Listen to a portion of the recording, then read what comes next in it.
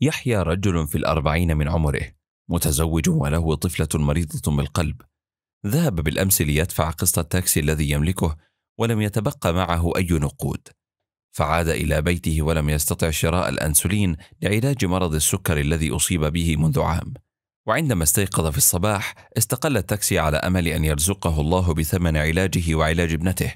وبعد دقائق شاهد شابا تعطلت سيارته بالطريق وأشار له ليقوم بتوصيله.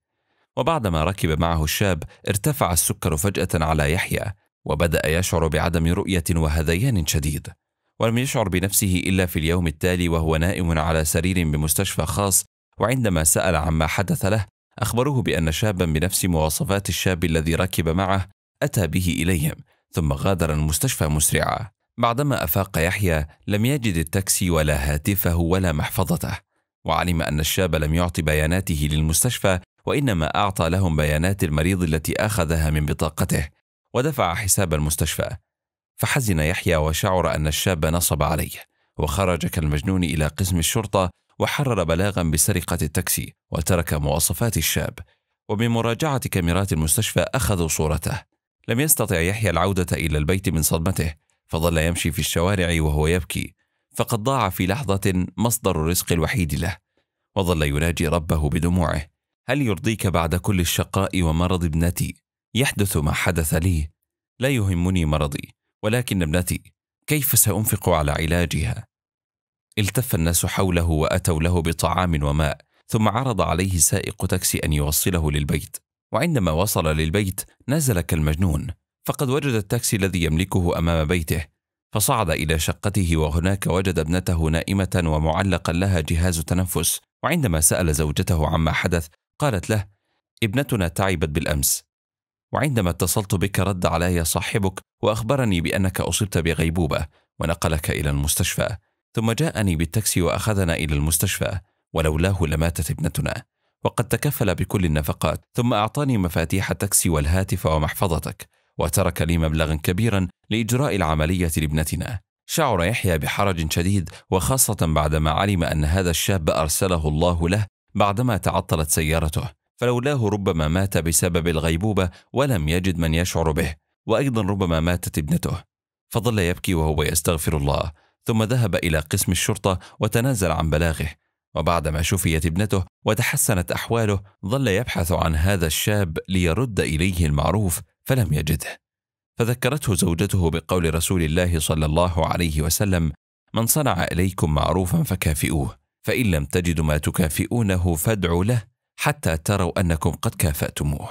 قل اللهم مالك الملك تؤتي الملك من تشاء وتنزع الملك ممن تشاء وتعز من تشاء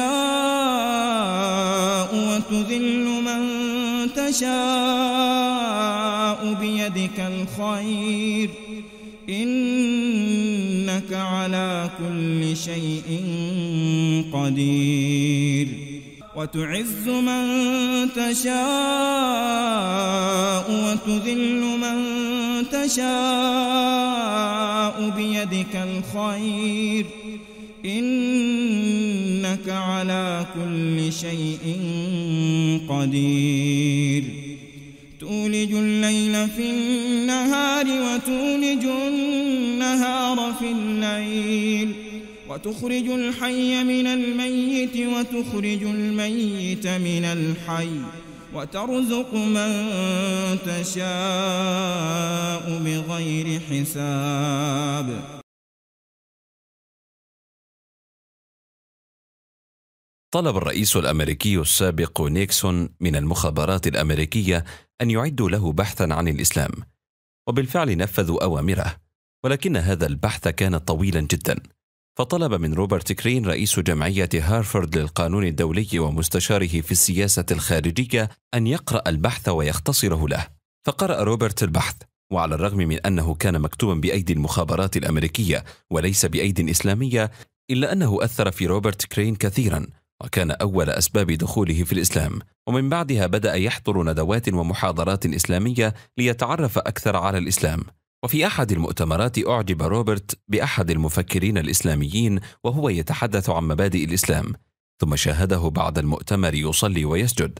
فاعتقد روبرت أن في هذا السجود إهانة له ولإنسانيته. ثم أدرك بعد ذلك أن الشيخ ينحني لله وليس لبشر كائنا من كان. فانشرح قلب روبرت لهذا الدين لأنه وأثناء دراسته في جامعة هارفارد لم يجد في قوانينهم كلمة العدالة ولو مرة واحدة. وهذه الكلمة وجدها في الإسلام كثيرا. ولأنه كان يسعى إلى مبادئ ليست من وضع البشر فقد وجد كل ما يتمناه في الإسلام. لذلك أعلن إسلامه وأطلق على نفسه اسم فاروق عبد الحق. وفي حوار قانوني مع أساتذة للقانون مع غير المسلمين بدأ أحدهم وكان من اليهود يتكلم ويخوض في الإسلام والمسلمين فأراد فاروق أن يسكته فسأله هل تعلم حجم قانون المواريث في الدستور الأمريكي؟ قال اليهودي نعم أكثر من ثمانية مجلدات فقال له إذا جئتك بقانون للمواريث فيما لا يزيد على عشرة سطور فهل تصدق أن الإسلام دين صحيح؟ قال اليهودي لا يمكن أن يكون هذا فأتى له الدكتور فاروق بآيات المواريث من القرآن الكريم وقدمها له فجاءه اليهودي بعد عدة أيام يقول له لا يمكن لعقل بشري أن يحصي كل علاقات القربى بهذا الشمول الذي لا ينسى أحدا ثم يوزع عليهم الميراث بهذا العدل الذي لا يظلم أحدا. كانت آيات المواريث وحدها سبيلا لاقتناع هذا اليهودي بالإسلام لذلك أسلم ودعا كل من يحبهم للإسلام. يوصيكم الله في أولادكم للذكر مثل حظ الأنثيين.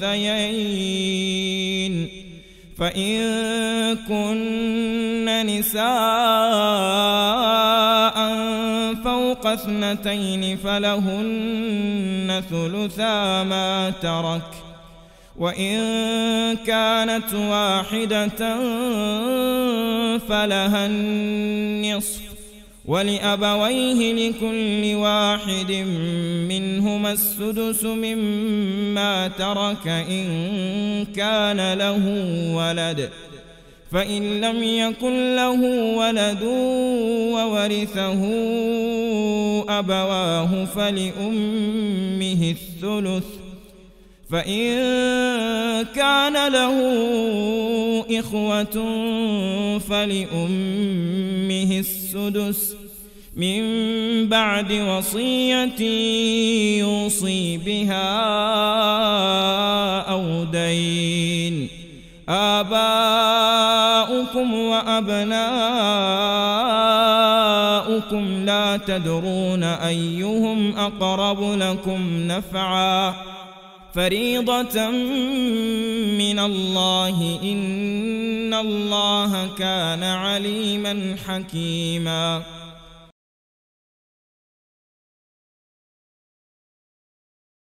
في إحدى المدن الساحلية عاشت أرملة تسكن على شاطئ البحر وكانت تصنع كل يوم عجينة حمراء تستخدم في سد الشقوق في مراكب الصيادين والتجار مقابل خمسة دنانير.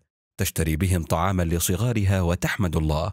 وذات يوم صنعت العجينة وذهبت بها إلى الشاطئ كالمعتاد. وإذا بطائر يخطف العجينة ويطير بعيده فبكت الأرملة حزنا وقالت يا رب صغاري سيموتون جوعا وأنا لا أملك إلا هذه العجينة. في هذا الوقت قابلها شيخ المسجد وعلم منها سبب حزنها.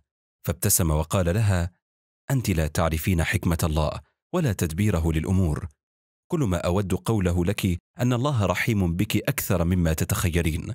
فارض بقضاء الله عملا بحديث رسوله الكريم إن الله إذا أحب قوما ابتلاهم فمن رضي فله الرضا ومن سخط فله السخط. استغفرت السيدة ربها واستسلمت له وبعد وقت قصير طرق خمسة رجال على باب الشيخ وهم يهللون ويحمدون الله. وعندما فتح الشيخ لهم قالوا لقد نجانا الله من موت محقق فقد كنا اليوم نستقل مركبنا وفي عرض البحر تصدع المركب بنا وبدأ الماء يتسرب إلى داخله فكدنا نغرق وصرخنا يا الله أنقذنا. هو الذي يسيركم في البر والبحر حتى إذا كنتم في الفلك وجرين بهم بريح طيبة وفرحوا بها. وفرحوا بها جاءتها ريح عاصف وجاءهم الموج من كل مكان وظنوا أنهم أحيط بهم دعوا الله مخلصين له الدين. لئن أنجيتنا من هذه لنكونن من الشاكرين. وسيعطي كل واحد منا مئة دينار للفقراء والمساكين. وإذا بطائر يحمل عجينة حمراء من التي تعالج شقوق المراكب وألقاها علينا في هدوء فسددنا بها التصدعات ونجونا. وها هي خمسمائة دينار أعطها للفقراء. ذهب الشيخ إلى الأرملة وحكى لها قصة رجال المركب ثم أعطاها المبلغ وقال لها تفضلي لقد اشترى الله منك العجينة بمئة ضعف ثمنها.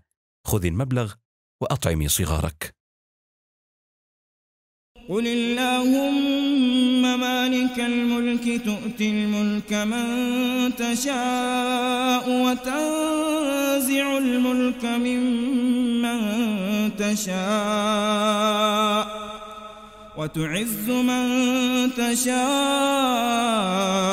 وتذل من تشاء بيدك الخير. إنك على كل شيء قدير. تولج الليل في النهار وتولج النهار في الليل. وتخرج الحي من الميت وتخرج الميت من الحي. وترزق من تشاء بغير حساب. وضع أستاذ لعلم الاجتماع بإحدى الجامعات الأمريكية شرطا لحصول طلابه على الدرجة كاملة في مادته بعد ثلاثة أشهر. وكان الشرط هو القيام بعمل مختلف يفخر به الطالب طوال حياته. وقد اتفق الأستاذ الجامعي مع إحدى الشركات بتكريم أفضل عشر مبادرات بمبلغ كبير. وبالفعل تسابق الطلاب الثلاثون في القيام بهذا العمل المتميز. وقام معظمهم ببعض الاختراعات وكان من بين الطلاب طالب عربي مسلم. وعملا بحديث رسول الله صلى الله عليه وسلم أحب الأعمال إلى الله تعالى بعد الفرائض إدخال السرور على المسلمين. قرر أن يسعد زميله الهندي الذي يسكن معه في السكن الجامعي وكان هذا الطالب الهندي قد جاء من بلاده إلى أمريكا لدراسة الطب. ولكنه كان دائما منطويا لا يتحدث مع أحد وليس له أصدقاء. قام الطالب العربي المسلم بوضع رسالة قصيرة مكتوبة على جهاز الكمبيوتر دون توقيع تحت باب غرفة الطالب الهندي. كتب فيها كنت أتمنى منذ الصغر أن أصبح ذات يوم طبيبا مثلك ولكني ضعيف في دراسة المواد العلمية لقد وهبك الله ذكاء سيجعلك تساهم في إسعاد البشرية. وفي اليوم التالي اشترى له قبعة ووضعها أيضا عند الباب وبجوارها رسالة مكتوب فيها أتمنى لو أن هذه القبعة تنال إعجابك. وفي المساء رأى الطالب المسلم زميله الهندي وهو يرتدي قبعته ومعها ابتسامة لم يرها من قبل. ونتيجة لسعادة الطالب الهندي بما يحدث معه قام بتصوير الرسائل والقبعة ووضعهم على صفحته الشخصية بحساب الفيسبوك. وكان أجمل ما تابعه الطالب المسلم هو تعليق والد الطالب الهندي الذي كتب لابنه حتى زملاؤك يتوسمون أنك طبيب متميز. استمر ولا تخذلهم. وقد دفع هذا التعليق الطالب المسلم إلى المزيد من العطاء لزميله الهندي دون الكشف عن هويته حتى اشتهرت قصة الطالب الهندي الذي تغيرت حياته للأحسن. وخلال شهرين من تطور الأحداث طلبت الجامعة من الطالب الهندي أن يتحدث عن تجربته مع الرسائل والهدايا التي يتلقاها. وكانت المفاجأة حينما أخبر الحاضرين بأن الرسالة الأولى التي وجدها عند الباب كانت السبب في التخلي عن قراره بترك دراسة الطب حيث دفعته هذه الرسالة إلى الأمام وجعلته يتجاوز العراقيل التي واجهته. وكل ذلك بفضل مبادرة هذا الطالب الذي تسبب في تغيير حياتي إلى الأفضل. كما أود رؤيته لأخبره بأنه قد أسعدني وغير مجرى حياتي. وبعد دقيقة واحدة تقدم الطالب المسلم إلى صديقه الهندي والدموع في عينيه بعد تأثره بكلماته. وقال له الحمد لله الذي جعلني سببا لإسعادك. وبعد يوم واحد أعلن الطالب الهندي إسلامه. وفي نهاية العام نال الطالب المسلم درجة المادة كاملة كما فاز بمبلغ كبير. والمؤمنون والمؤمنات بعضهم أولياء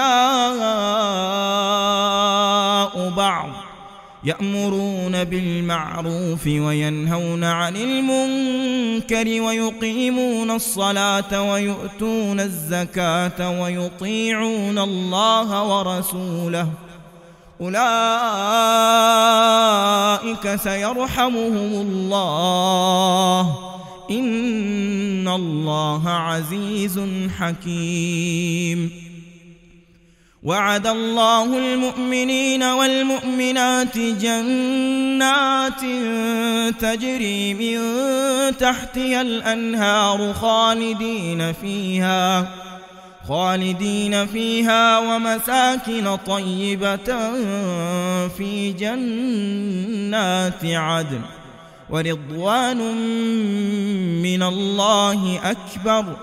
ذلك هو الفوز العظيم.